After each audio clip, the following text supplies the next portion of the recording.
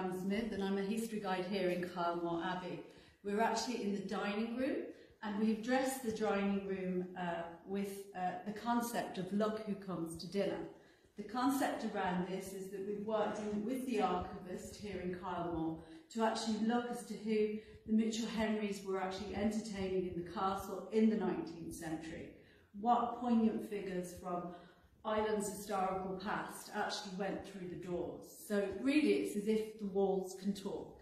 And here, uh, sat beside the, uh, uh, our Royal Highness, the Duke of Connaught, is Lady Augusta Gregory, which who is a, so poignant to Irish history. Of course, Lady Augusta Gregory came was Lady Augusta Persse from Roxborough House. She married Sir William Gregory from Coole Park and became a huge figure in 19th century history and the Celtic revival, literary revival.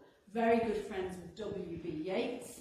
So if you think about the type of people the Mitchell Henrys were, they too also embraced the, the Irish uh, literary revival and everything connected to the Celtic twilight and anything Celtic and Irish in the 19th century. So you can see the conversations would be really interesting around the table with the Duke of Connaught at the head of the table, Lady Jane Francesca Wilde sitting beside Lady Gregory, and it always interests me as to why Mitchell Henry would, Henry would entertain these people. He was a benevolent landlord. And reading through books on Lady Augusta Gregory, she too was benevolent on her estate at Coole Park.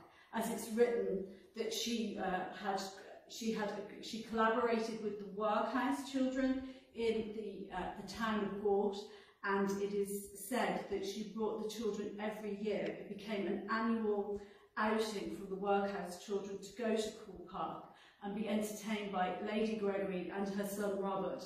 Uh, they would go for picnics and uh, nature trails through the parks of, uh, through Coole Park uh, which again is very similar to Mitchell Henry and his benevolence here in Kylemore, as it is noted in our records that he after he actually rebuilt a lot of the houses on the estates and put new new windows in all the cottages here on the estate in Kylemore and also was paying over and above uh, the average wage for every man that and woman that worked here on the estate in the 19th century.